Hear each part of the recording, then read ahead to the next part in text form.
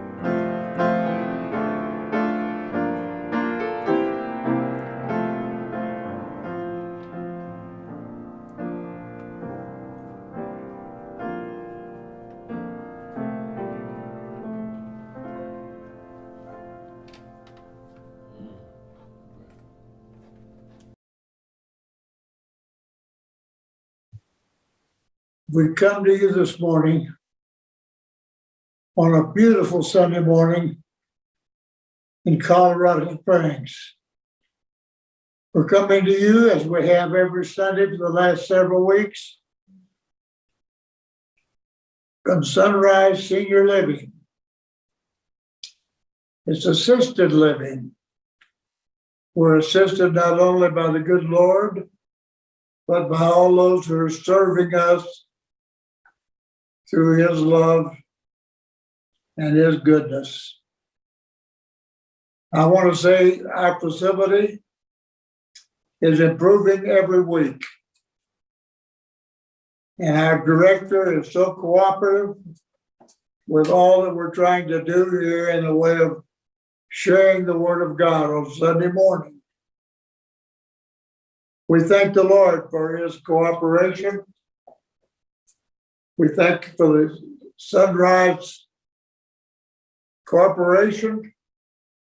And I can't say enough good about the way they've treated us and giving us the privilege of sharing in an interdenominational service. We come with a heavy heart today. As I've said in the last several weeks, I say it prayerfully today. Father, we know there are many people in need today.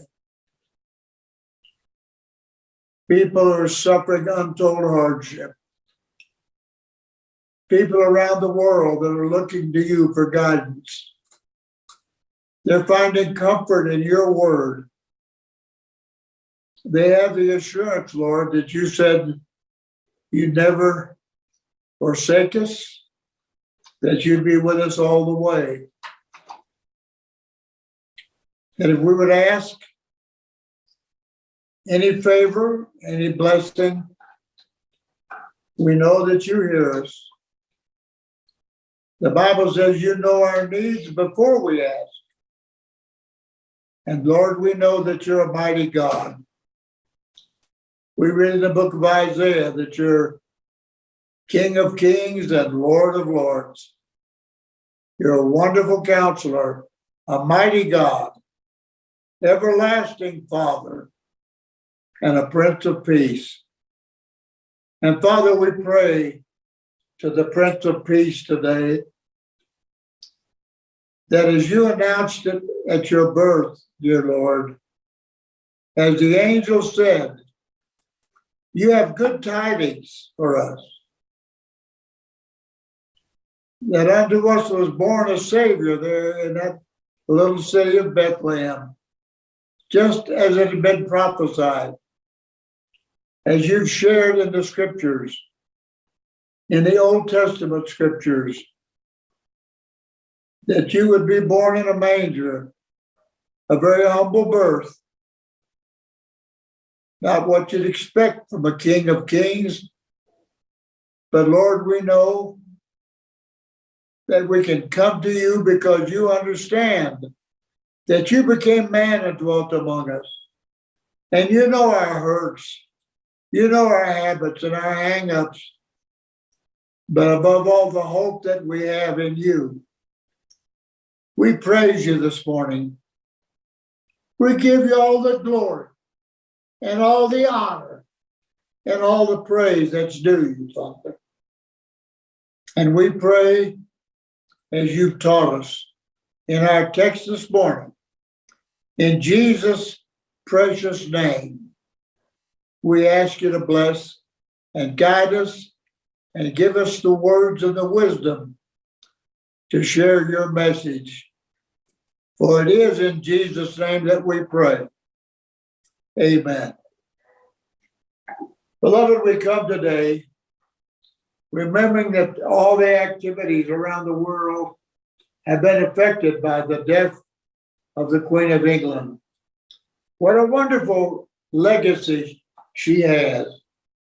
We've seen the reports of how many lives and countries, how many individuals, including our president, and many who preceded him, that she counseled with and talked with and had a wonderful relationship with. How beneficial she was in letting us know where the British kingdom stood on so many things that we believe were conservative, that honored you, and that made a real difference in our world. And we're going to miss her. And we want you to know that uh, as you listen to our message today, that the God whose birth was announced, once again, as Queen Elizabeth was called to be with you. Now the kingdom is different hands. And we know, beloved, that uh, we're going to be watching as he is officially received by the people. It'll be broadcast, I'm sure, many times on our televisions and, and the reports that we hear through the newscasters and those who are reporting from England and Scotland and Ireland and wherever her name is loved and her her kingdom uh, has probably been more influential in the world than any of us dares to imagine. But it inspires us now, as we've been saying in recent weeks, to take our stand, to let the world know where we stand as a nation, but above all as individuals. Those of us who name the name of Jesus and who claim him as our Lord and our King, that they would know everywhere by the choices we make, the way we live, the character they see in us, the very character of Christ as he lives and reigns and rules in our lives, that we worship him, praise him, we exalt him above every other name, for the Bible teaches us in a message that we preached just not many days ago. And he is a name above every name. That every knee one day will bow and every tongue will confess that Jesus Christ is Lord to the glory of God the Father. Friend, I say to you today, the Bible leaves no question, no question in my mind, because I've studied it and believed it all my life. I grew up in a home where my parents taught me about Jesus and his love. And I could sing that song as a little boy. Jesus loves me. This I know, for the Bible tells me so. Little ones to him belong. They are weak, but he is strong. And I want to tell you, friends, that strength. And now at 91 and a half, you know, people don't usually say that. But I can still assure you that he's certainly been good to me. And he's good enough to bring me to the place like Sunrise Senior Living. To have the wonderful blessings for our body, soul, and spirit. That they say are, you know, we, we see the service and the food, everything's getting better. But above all, is the wonderful support that the staff has given me individually. And recognizing that I know and love the Lord, and they do too.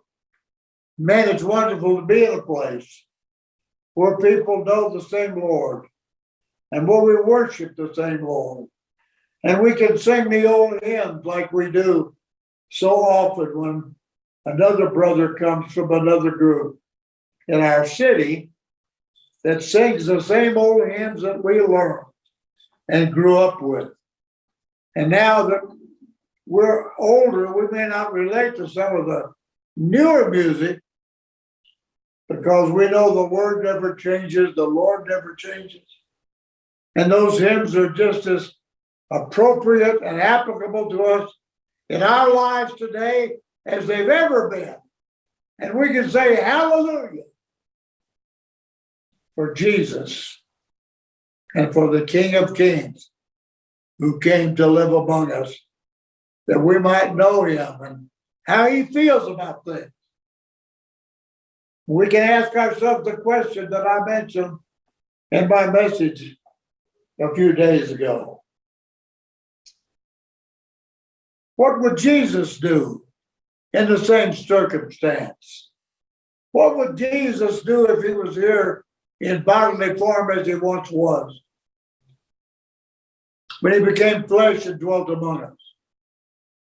And John said, We beheld his glory, the glory of the Father. And we know that the Father put his approval on everything that the Son did. Because he was blessed beyond measure with strength to go through all the suffering and the sorrow and the brokenness that he experienced because of his willingness to say, Father, thy will be done. And you know, it's revealed in John's gospel in our text today. In verse 23 of that chapter 16, look at your notes. And in that day, you will ask any, you will ask nothing of Jesus. Most assuredly, I say to you, whatsoever you ask the Father, notice, the model prayer, the Lord's Prayer says, Our Father who art in heaven. Now, Jesus said, You've been asking me while I was among you. But now all you do is go to the Father in my name, the one you know. You know how I feel. You know there's not a bird that lives and flies in the sky that I don't acknowledge when he drops to the ground. So you can be assured that I'm knowledgeable about what's going on in your life. You know, there are things that we have in our room, I know, that remind us of days past. Some loved ones who've passed on and they're already with the Lord. And we have memories, and we can sing an old song like Precious Memories, how they linger, how they flood my soul with joy. Oh, dear friend, I've felt that so much in the last almost two years now that I've been living here among you. And I've learned to love you. I saw how close we were on our trip a few days ago. Just this week, when we were around the table in our own little private pavilion. Wasn't that great? I tell you, And everybody was sitting there, and we got our favorite soft drinks and we got our uh sandwiches. We had a choice of potato chips and Fritos and all those good things that we like. And everybody seemed happy and everybody seemed to have what they wanted. And the Lord, like he promised, he supplied our daily bread. And we were down there, and you know what blessed me so much? I met the lady who's the director of the zoo. Not even our director got to meet her. I felt very honored. She came up to me and I said, you know, this, this wonderful place. And she said, well, I've noticed now, don't forget this. They were watching us. She said the group from Sunrise, and you know, there were several there because other groups had come with their busload from other facilities like ours, senior living facilities, because it was senior week. That's why we saw so many people our own age. It was senior week at the zoo.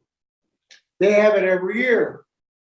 And she was telling me what was coming in the weeks ahead. And I said, Well, I'm ready to come back any day.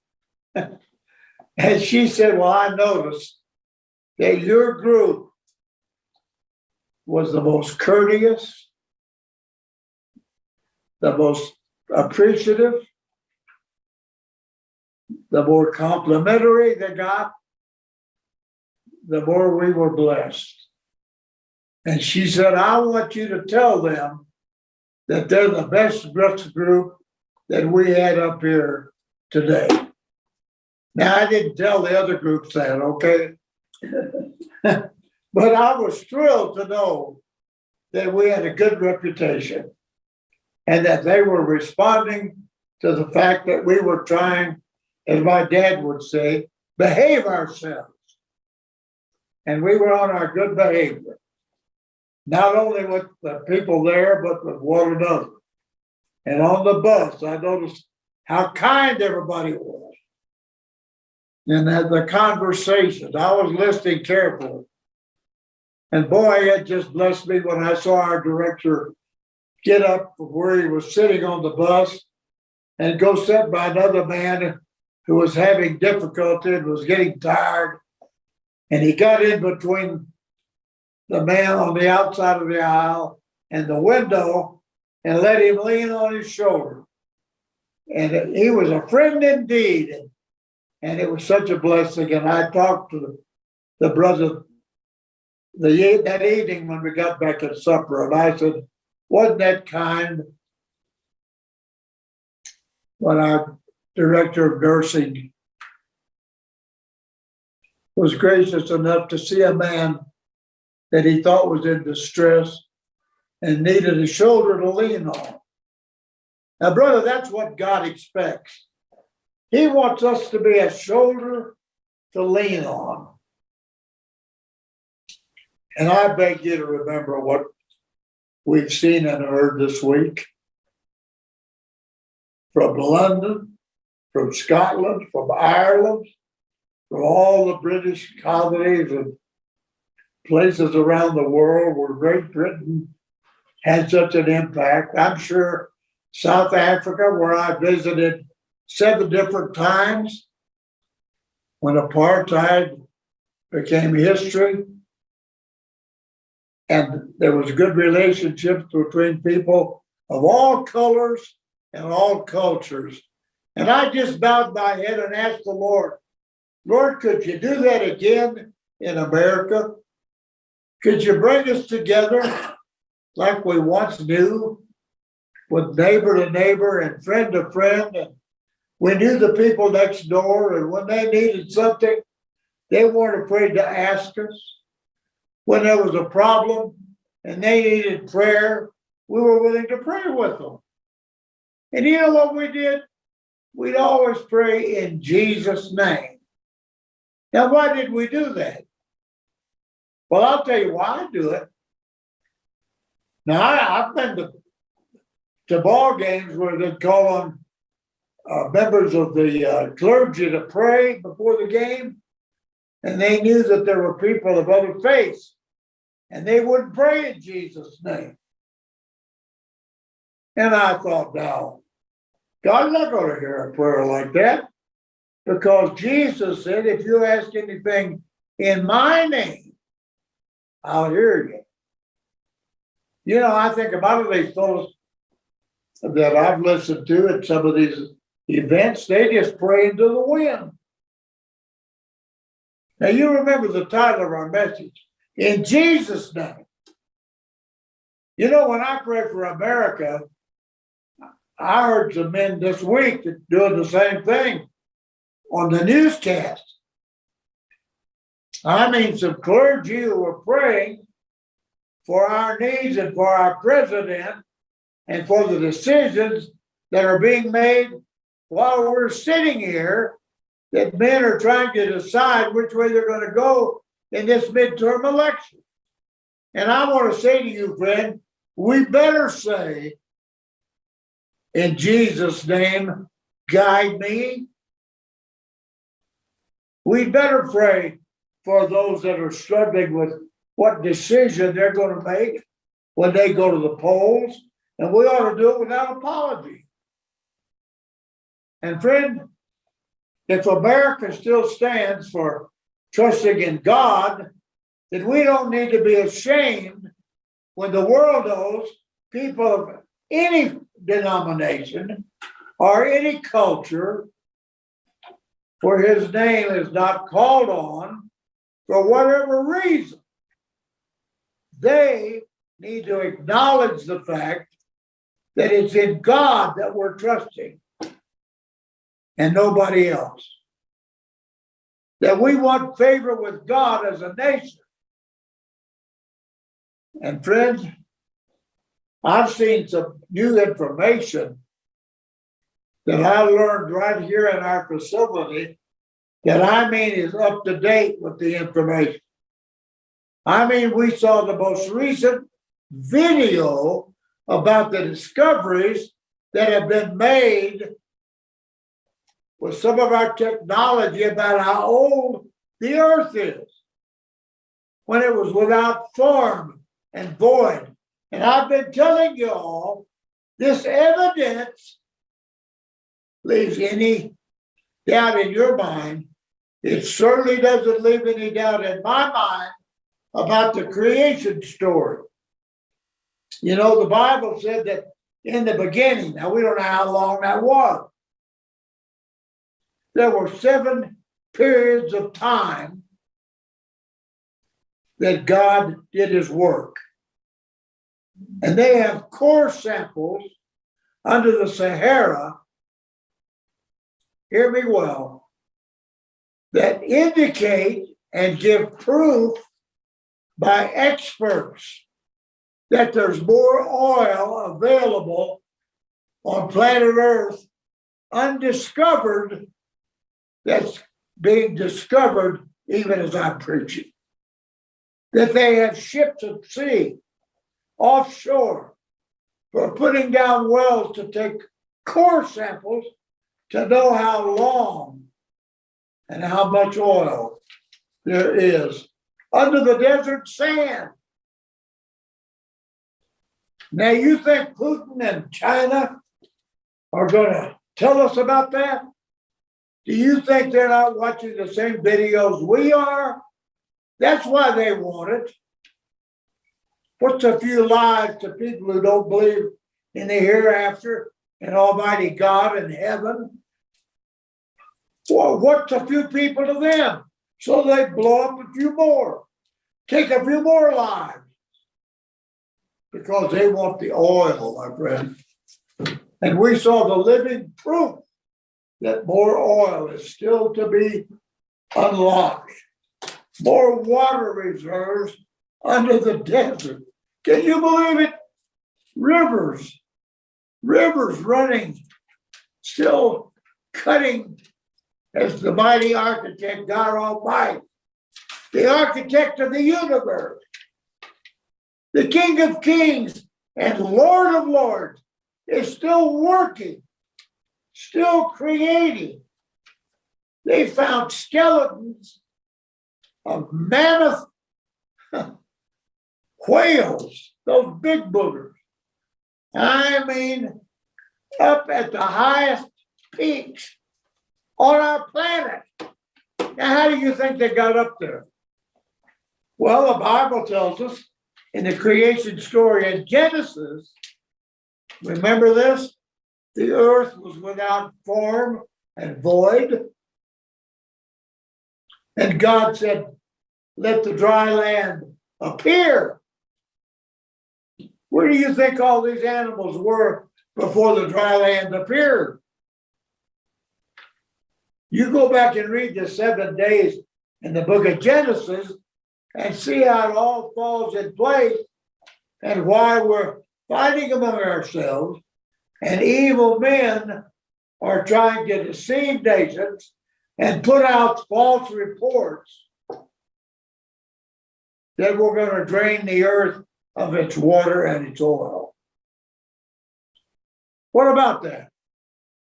I mean, the lies that are being peddled for truth are unbelievable. I tell you, I've gotten so excited about it since we saw that video a couple of days ago that I can hardly sleep. I want to go back and read the Bible again. There's more evidence to believe God's word is true than there's ever been.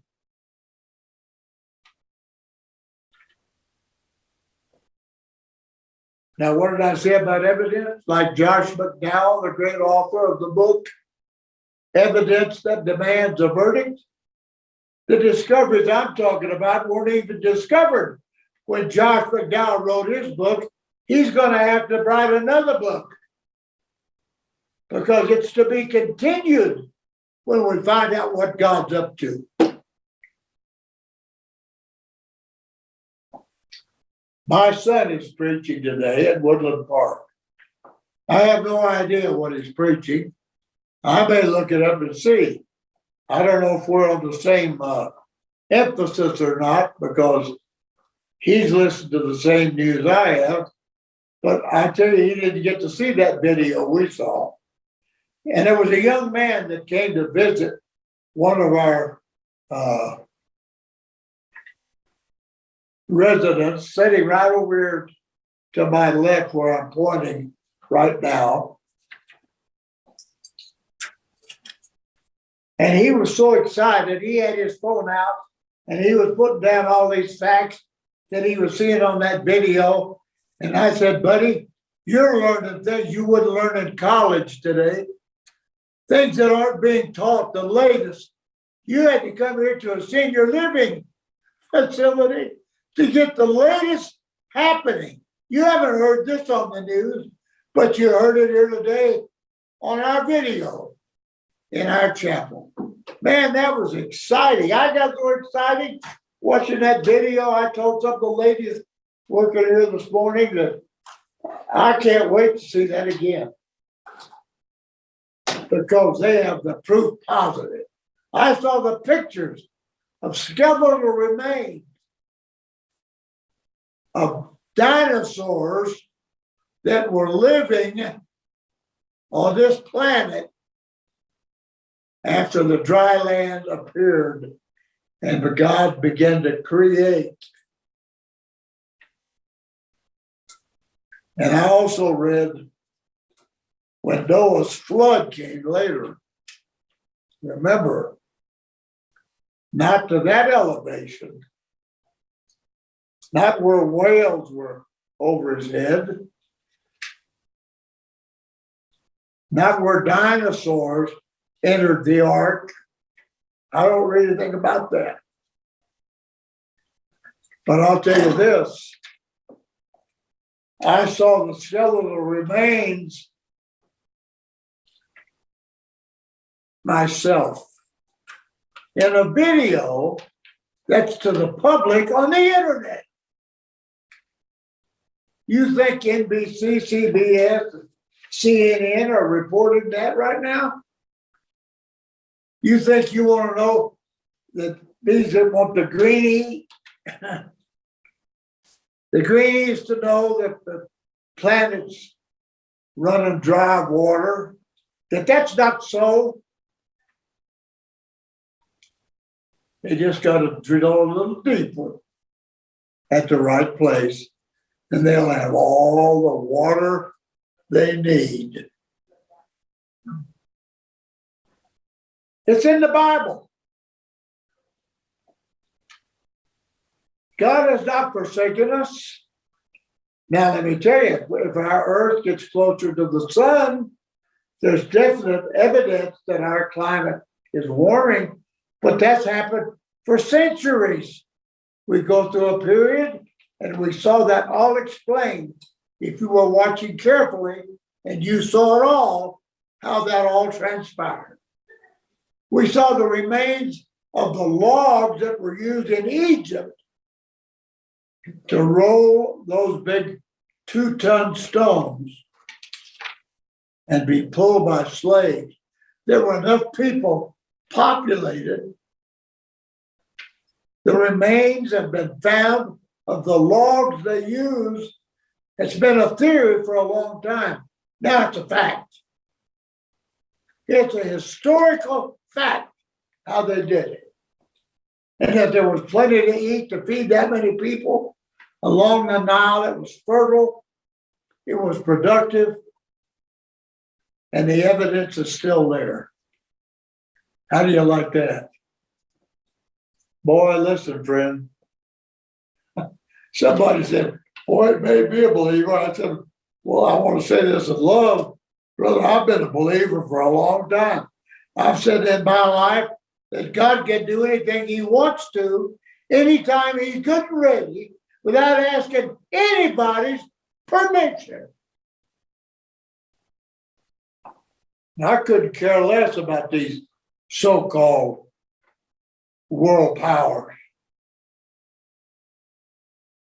You know, China says that certain dynasties that were living centuries ago, they found artifacts at that place as the earth rotates.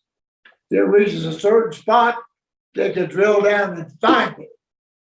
And they have all these little soldiers, you know, that they've shown in pictures and and uh National Geographic of all those little soldiers that they carved out. They're still there. Just gotta know where to look. God has confirmed it over and over and over. The skeletal remains of ships. I call them skeletal because there's just a little bit left, but there's enough to show you what it was, how big it was. Well, what am I saying? I'm saying we need to call on the Lord.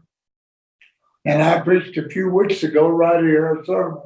God does answer our prayers.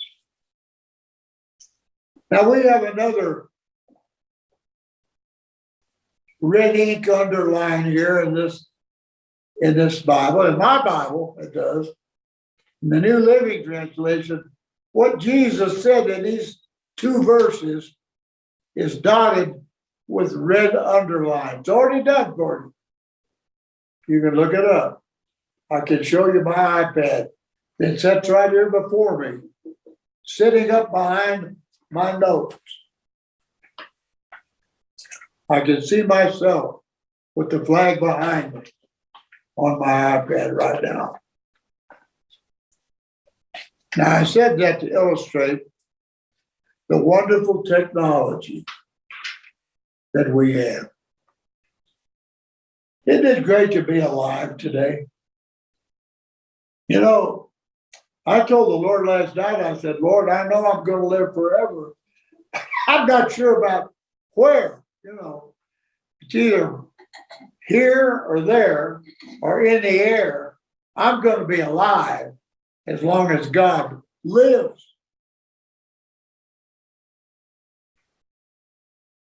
You know what, my my uncle used to say, when he said something that he really believed it, just put that in your pipe and smoke it.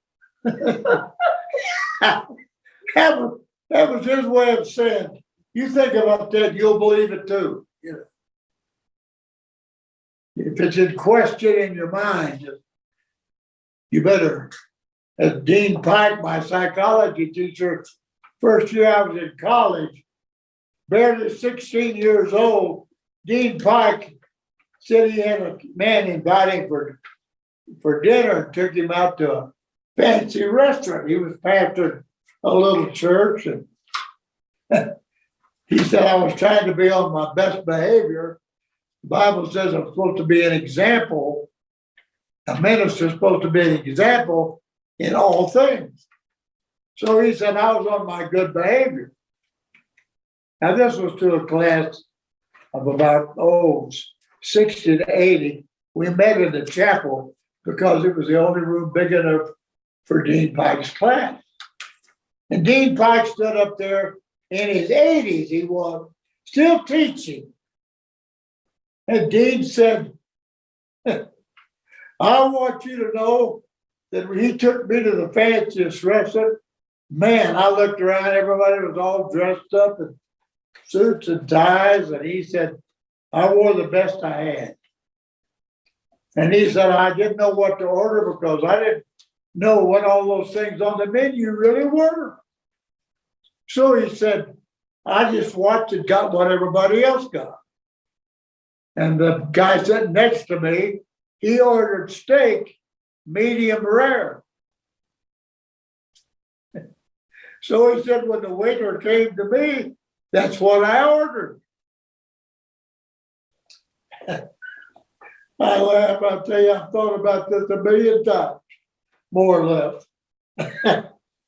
I was sitting as a freshman student, not even dry behind the ears as a preacher.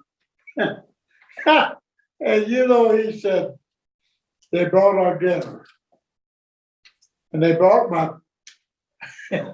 my medium rare steak. And he said, I saw the blood running out of it. And he said, I wasn't about to eat that like that. And he said, uh, I wanted to be gracious. I didn't want to be rude to the guy sitting next to me who was eating it, enjoying it like it was really good. So he said,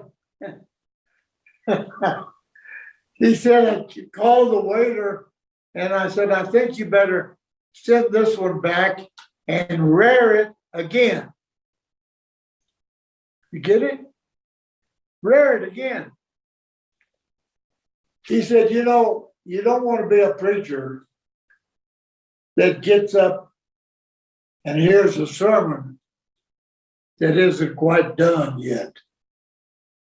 You want to be sure that you understand everything that God said in that passage that you're preaching.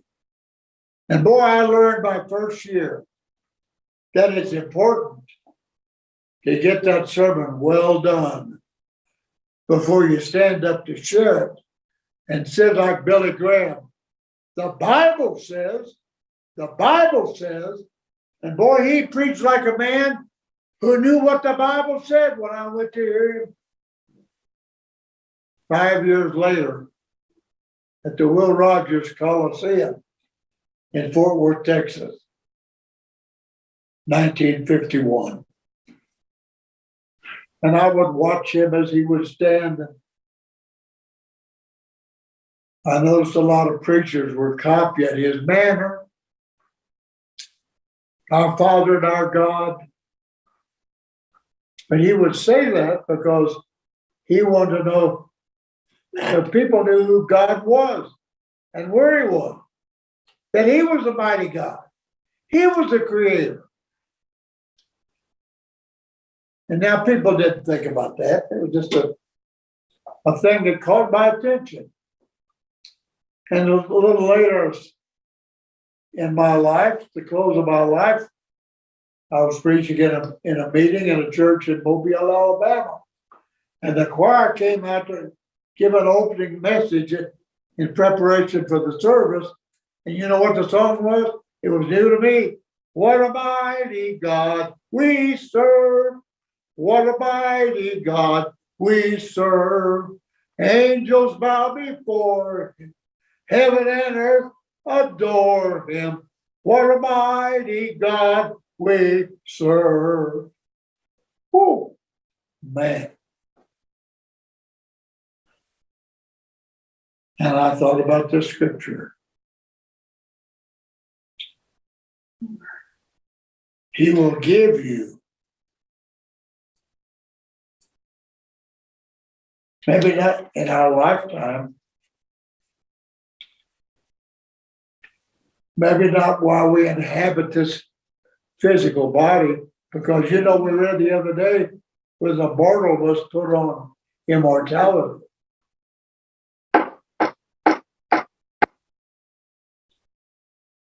And what is decaying? The flesh. Will put on what is eternal. Seeing then that all these things shall be dissolved. As God says, pass away.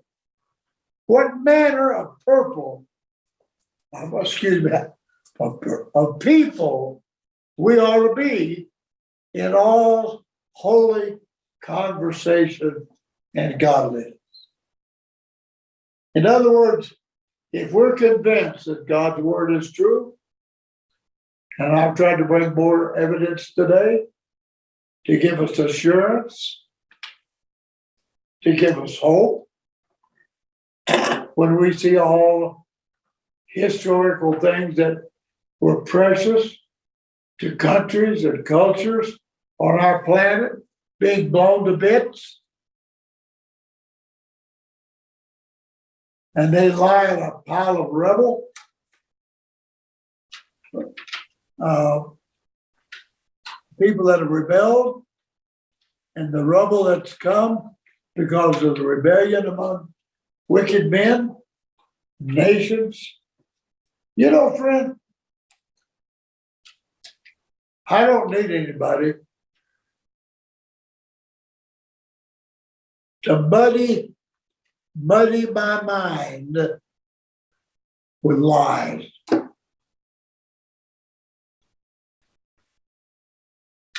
I'll tell you what we need.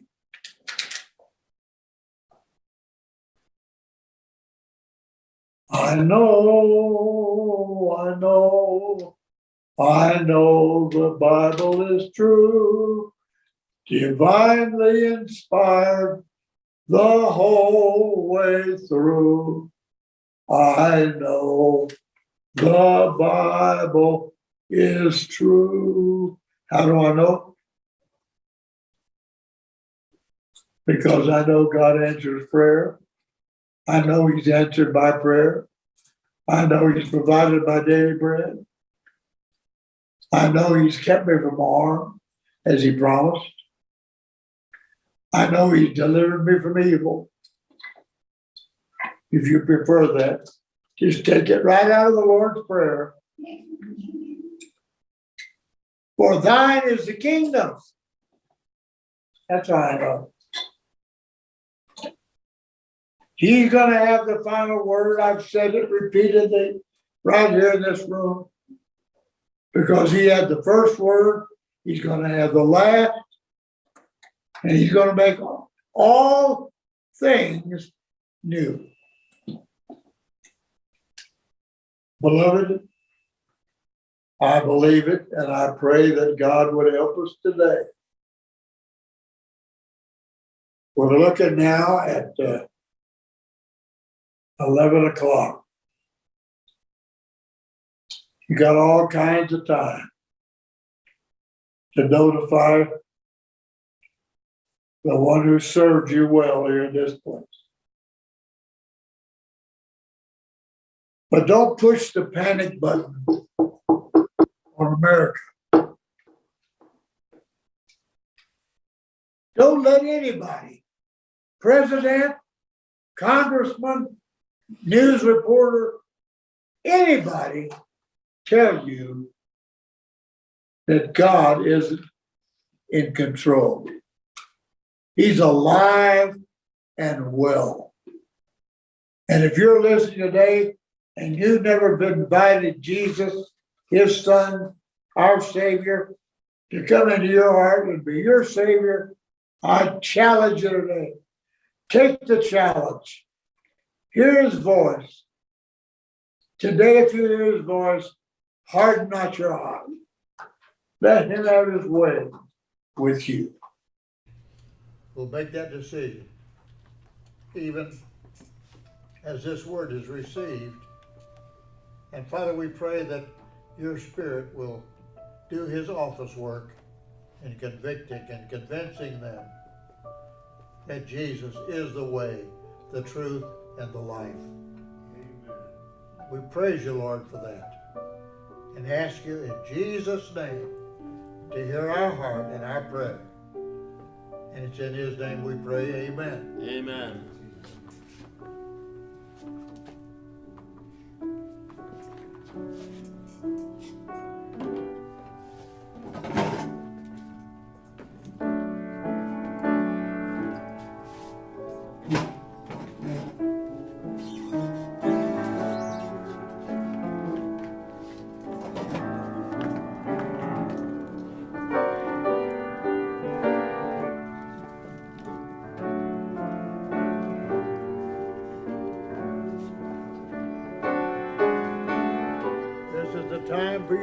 Your decision. God's waiting, He's ready, He's willing, He loves you, He wants to come into your heart, change your life, give you victory. Say,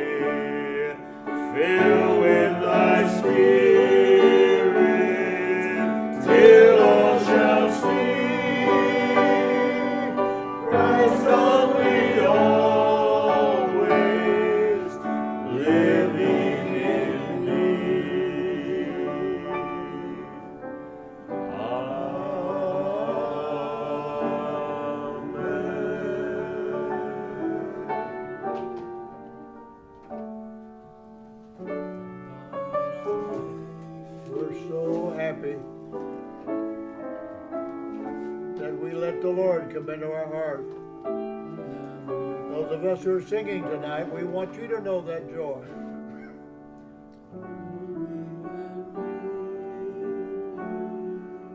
Till all shall see Christ only, always living in me. Living in me. Bless you. We hope you'll tune in soon. We wave and praise God for all of you who are listening around the world. It may sound ridiculous to some, but we get the word. We know you're listening, and we thank God for you. We hope you'll tell others. Get them to subscribe. That means you'll be notified on YouTube of whatever you're watching. You'll be notified when the next message comes up. If you didn't hear last week, it's on there. Look it up and listen to it. Okay? If you like our pianist, give her a hand, okay?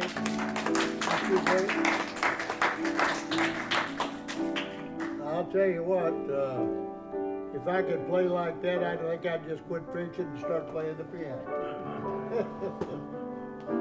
Because I'll tell you, when you listen to anointed music, that's why I wanted you to hear that little song at the beginning, you know. I'm in love, deeply in love. You know, a guy that wrote that song, he knew something about loving Jesus, didn't he? Be a fool to write that song if he didn't know Jesus. Yeah, Amen. guarantee you. Well, the Holy Spirit bore witness in my heart when I listened to it anyway. First time I heard it, you I love you. God bless you. I hope you're alive next week, either here, there, or in the air. But you'll be with Jesus. Don't put it off. Don't put it off. Hope to see you next time. If not here, there, or in the air, I'll be there. Will you be there? Goodbye. I love you.